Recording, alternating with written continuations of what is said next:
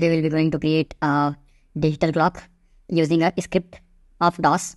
So for that, you need to open any editor. So I'm opening the notepad and open a new file and start typing whatever you can see in the screen.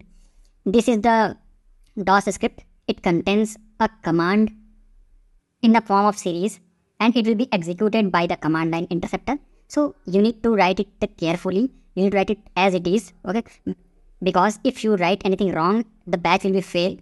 And after writing these things you need to save this file in a dot bat okay? Don't forget to save it a dot bat and run it like this okay? Now you can see the magic okay? After running this code you can see the magic you can see the clock in the screen okay? Thank you